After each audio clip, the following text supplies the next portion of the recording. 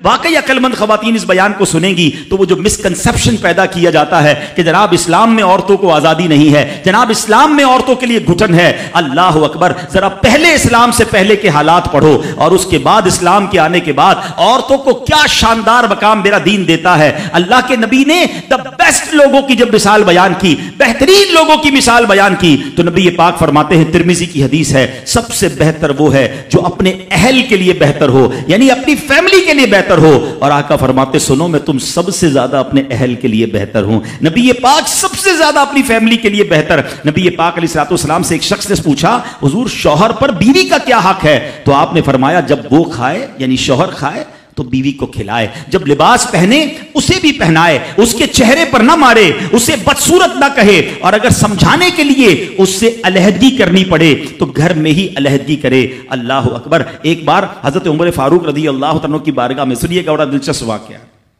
सैद उमर फारूक का कितना बड़ा नाम है। आपके जलाल की, आपकी अदालत की मिसालें दी जाती हैं। बड़े बड़े लोग आपके सामने थर थर कांपते थे। आपका घर में अंदाज क्या था कि एक शख्स आया कि मैं हज़रत उमर के पास जाऊँ और बताऊँ, मेरी बीवी जो है मुझसे इस तरह बात करती है और मेरा वो वो अंदाज नहीं होता जो शोहर के सामने होना चाहिए। होता है घरों में हो जाता है। तो हज़रत उमर के दरवाजे पर पहुँचा ना तो अंदर से उसे सैदन उमर फारूक रदी अल्लाह तन की जोजा उम कुलसूम रदी अल्लाह तला की नाराज़गी की आलम में गुफ्तु करते हुए सुना। वो हज़रत उमर से बात कर रही थी। तो वो शोहर सोचने लगा कि मैं तो अपनी बीवी की शिकायत लेकर आया था। हज़रत के तो घर का भी मामला ही ऐसा ही है। तो वो कहते, मैं वापस होने लगा। हज़रत उमर ने बुला लिया। क्यों आए थे?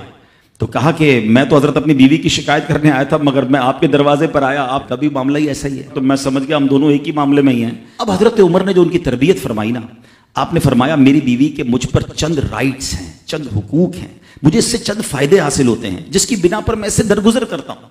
पहला ये कि ये मेरे लिए जहन्नम की आड़ है, मेरा दिल इसकी वजह से हराम कामों से बचा रहता है। नंबर दो, जब मैं घर से निकल जाता हूँ, ये मेरी खजांची बन जाती है। यानी मेरे माल की निगहबान बन जाती है, मेरी धोबन बन जाती है, मेरे कपड़े धोती है, मेरे बच्चे की परवरिश करती है, मेरे लिए रोटियाँ और खाने पकाती है। तो वो शख्स कहता है, ये सारे फ़ायदे तो मुझे भी अपनी बीवी से हासिल हैं। तो मैं तो कभी दरगुजर से काम नहीं लेता, वो मुझे कहती, मैं उसे लड़ना शुरू कर देता हूँ। कहता, आज आपकी बात से नसीहत मिल गई, अब मैं अपनी बीवी की छोटी माटी बातों को मैं भी दरगुजर कर दूँगा। कितनी प्यारी बात बताई। हम वो सारी बातें भूल जाते हैं। एक गलती पर पकड़ लेते हैं, एक गलती पर डांटते हर गलती पर जनाब, ऐसा नहीं होता। हर गलती की सजा सजाए मौत नहीं होती, है? हम गलतियाँ नहीं करते।